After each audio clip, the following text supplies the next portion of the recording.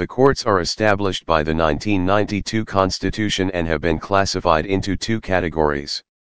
1. The Supreme Court of Judicature.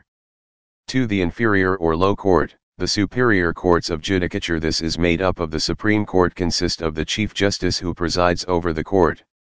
The Court of Appeal is the highest court in Ghana. As the name suggests, it deals mainly with appeals. The court in most regions is High Court. The High Court plays a unique role in the administration of justice. The inferior court are established by an act of parliament at the moment the lower court consist of the circuit court. Every district in Ghana must have at least one district court. These court have been established in the localities to bring justice closer to the doorsteps of the ordinary person.